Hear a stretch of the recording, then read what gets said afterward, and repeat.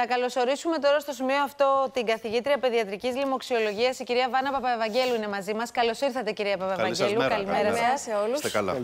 Η κυρία Παπαευαγγέλου με μάσκα, κανονικά πρέπει να τη βάλουμε Βεβαίως. κι εμείς τώρα.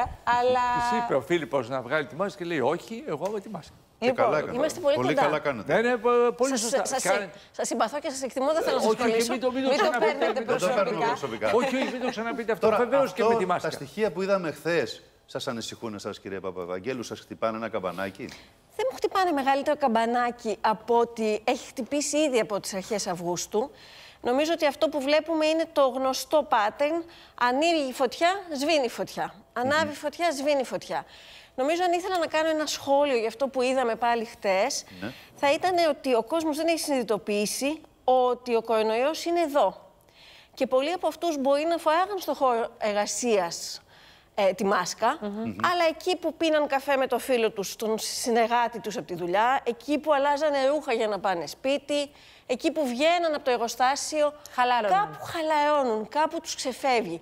Νομίζω ότι πρέπει όλοι να συνειδητοποιήσουμε ότι πρέπει να είμαστε ιδιαίτερα προσεκτικοί συνεχώς. Και εδώ να κάνω άλλο ένα σχόλιο, ότι στα νοσοκομεία εμείς νιώθουμε πολύ ασφαλείς, γιατί ο κόσμος προσέχει. Ο κόσμος φοβάται να Τηρούν πάει στα τα μέτρα νοσοκομεία, εκεί με βλάβια. ενώ τα νοσοκομεία είναι το πιο, το πιο ασφαλές μέρος, γιατί όλοι προσέχουμε πάρα πολύ. Έτσι όπως Μπορώ πάμε, να πω μια φοβάστε εικόνα ότι μπορεί ακόμη. να πάμε Μπορώ να σε πω- γενικευμένα μέτρα. Νομίζω Υπάρχει ότι τέτοια αυτό περίπτωση. είναι ξεκάθαρα ότι Ενώ όχι σε lockdown καθολικό, αλλά τουλάχιστον να φοράμε τη μάσκα μέσα έξω. αυτό μπορεί να γίνει εξαρτάται από εμάς. Από όλους εμάς. Τον καθένα μας Πιστεύετε ξεχωριστά. ότι αυτό μπορεί να γίνει και υποχρεωτικό; Κοιτάξτε, εάν οι συνθήκες είναι όπως είναι αυτή τη στιγμή στην Πέλα και στην Αθήνα, μπορεί να γίνει. Αυτό όμως είναι στο χέρι μας να το αποφύγουμε, προσέχοντας ο καθένας την ατομική ευθύνη, αυτή που λέμε στη συνέχεια. Άρη, τι θέλεις να Εγώ πεις; μια εικόνα Ναι. θέλω να πω. Τρώ. Εντάξει. Ο, ο άνθρωπος που σερβίρει είναι με τη μάσκα του. Σε πλησιάζουν όμως κάποιοι άνθρωποι, είτε γνωστοί είτε άγνωστοι, και έρχονται πάνω από το τραπέζι σου. Αυτό πρέπει να το απαγορεύσουν.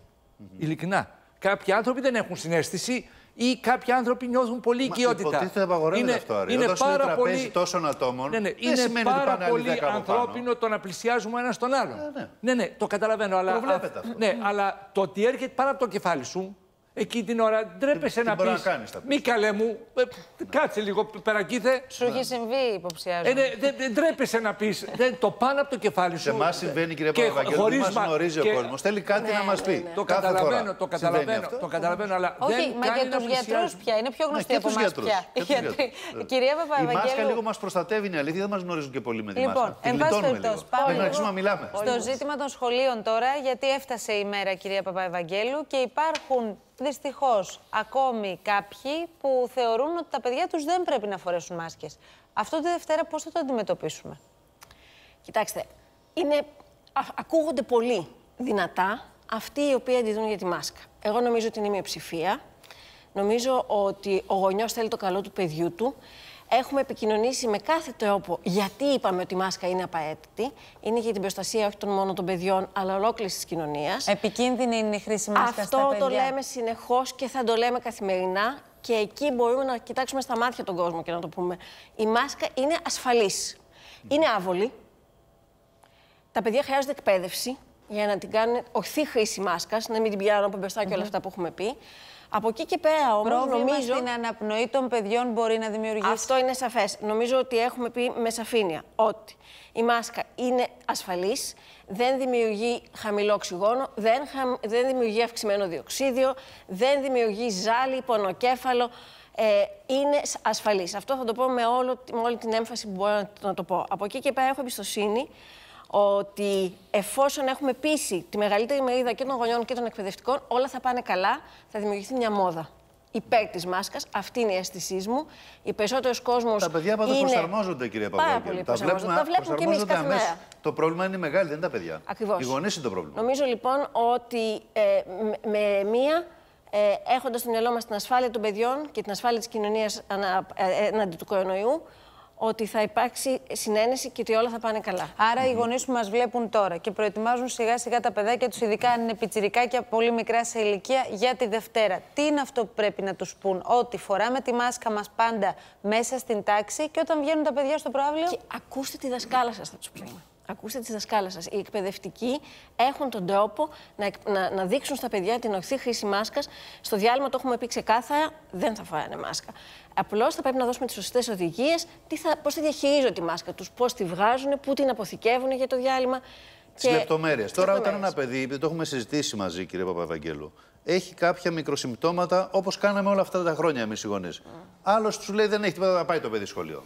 Αυτό πρέπει να αλλάξει; Τι κάνουμε τώρα όταν έχει κάτι το παιδί; Αυτό είναι το μεγάλο στίχημα. Να δούμε λοιπόν ε, πώς θα αντιδράσουμε σε αυτό το θέμα. Δηλαδή, το παιδί που ξυπνάει και είναι κακοδιάθετο, έχει μιξούλε, έχει βήχα, έχει κάνει έναν εμετό. Εκεί πρέπει τώρα, προς το παρόν τουλάχιστον, να κρατήσουμε το παιδί στο σπίτι. Κάτι Και που... να κάνει και τεστ, γιατί με ρωτάει Όχι. ένας παιδίατρο. Όχι. Πρέπει να κάνει, μου λέει, τεστ τώρα το παιδί ή όχι; Λοιπόν, ε, είμαστε, είμαστε στη διαδικασία που σήμερα αύριο θα βγουν οι οδηγίες οι σχετικές. Ε, τις επεξεργόμαστε τις τελευταίες λεπτομέρειες, όπου σαφώς θα ορίζουμε, θα δώσουμε οδηγίες δηλαδή και στους εκπαιδευτικούς αλλά και στους γιατρούς, στους παιδιάτρους, αν και οι παιδιάτροι τα ξέρουν πολύ καλά. Ε, Ακριβώς με ποια συμπτώματα και πότε θα οδηγείται ένα παιδί για τέστινγκ. Για συγκεκριμένο τέστινγκ. Αλλά καλό είναι Τα κρατάμε σπίτι να κρατάμε όμως, τα λέτε. παιδιά σπίτι όταν έχουν συμπτώματα λίμωξης των αναπνευστικού. Τα κρατάμε σπίτι, αλλά πρέπει να για μείνει και γονιός ασφάλεια. σπίτι. Δηλαδή με, το, με την καταρροή μένει σπίτι το παιδί. Έτσι. Ναι, και με τον πυρετό. Τώρα να φτανιστεί δύο φορές δεν θα μείνει σπίτι. Όχι, αλλά όχι, αν έχει- αν έχει αν έχει εμφανώς, όμως σαφώς ε, συμπτώματα ναι. καταρροή, τότε ναι. Ρωτάνε όμως πάλι κάποιοι φίλοι εδώ, σε αυτή την περίπτωση που πρέπει να μείνουν και οι γονείς σπίτι, βεβαίως δεν είναι δικό σας θέμα, το λέμε για να τα ακούσουν αυτοί που πρέπει. Θα προβλέπετε άδεια ειδικού σκοπού για το γονιό; Αν δεν υπάρχει κάποιος άλλος σπίτι, ποιος θα μείνει σπίτι με ένα μικρό παιδί; Ναι, αυτές τις λεπτομέρειες δεν τις ξέρω γιατί είναι πιο Ναι, δεν είναι πολύ δικό σας, γι' αυτό το λέω. Απλώς το λέμε να διοικητικά. ακουστεί. Ναι. Γιατί το ρωτάνε φίλοι παιδίατροι που πάνε οι γονείς και τους ζητάνε ε, βεβαιώσεις. Για τα παιδιά, για τις απουσίες, για το ένα, για το άλλο. Ξέρετε, Ναι, νομίζω μπλέκουμε ότι σε ένα αυτό κύκλο. γινόταν συνέχεια. Δηλαδή και πέρσι, άμα το παιδί έμενε σπίτι, Ναι. δεν έπρεπε να κάποιος Τα βεβαίως. παιδάκια που επιστρέφουν από το σχολείο έρχονται σε επαφή με τη γιαγιά και τον παππού στο σπίτι ή με ανθρώπους που ανήκουν σε ευπαθείς ομάδες. Μπορεί να είναι και οι ίδιοι του οι γονείς, όπως καταλαβαίνετε, κύριε Παπαβαγγέλη. Βεβαίως. Και υπάρχει ε, μέρημνα γι' αυτό, για, τα, για, τη- για τους γονείς και του συγγενείς μέσα στο σπίτι με ειδικά Η γιαγιά προβλήματα. και ο παππούς αγκαλιάζουν Αλλά το η γιαγιά μικρό. και ο παππούς φυσικά θα παραλάβουν τα παιδιά, αν και έχει γίνει η μέρημνα για να υπάρχει ολοήμερο σχολείο σε μεγαλύτερο βαθμό για αυτό το λόγο.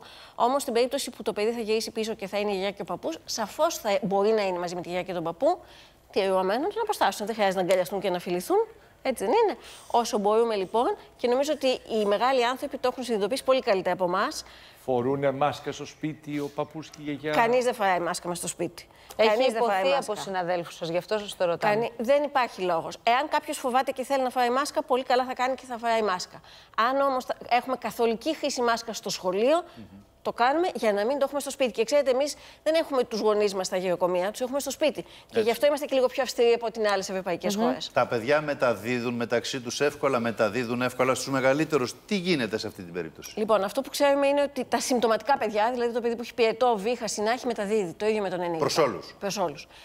Τα παιδιά όμως που είναι ασυμπτωματικά δεν το ξέρουμε και φαίνεται ότι μεταδίδουν λιγότερο. Γενικά, επειδή τα παιδιά δεν μιλάνε με την ίδια Τα ένταση. ασυμπτωματικά μεταδίδουν Τα λιγότερο. ασυμπτωματικά δεν ξέρουμε αν μεταδίδουν. Δεν έχει Α, αν λυθεί. μεταδίδουν δεν, καν. Πόσο μεταδίδουν. Μάλιστα. Ξέρουμε ότι φαίνεται από όλες τις μελέτες ότι τα, ιδιαίτερα τα ασυμπτωματικά παιδιά μεταδίδουν πολύ λιγότερο. Είναι Λοιπόν, σημαντικό αυτό. θα μεταφερθούμε τώρα όλοι μαζί έτσι όπως Μπορώ άλλη είμαστε. μια ερώτηση; Για να πάμε στη Μόρια, Ναι, έλα, Άρη. έλα. Με το, σε σχέση με τον ήττα, ήττα, ένα, ήττα έναν ή ένα, οι αναλογίες ο, τώρα με τον COVID, Υπάρχουν σημαντικές διαφορές και η σημαντικότερη πιο διαφορά. σκληρός ο COVID? Όχι, η σημαντικότερη διαφορά είναι ότι η πηγή της κοινωνίας για τη λίμωξη στην ΙΤΑ 1 ήταν τα σχολ... παιδιά σχολικής ηλικίας. Πράγμα που δεν σημαίνει στον COVID. Άρα υπάρχει μεγάλη διαφορά.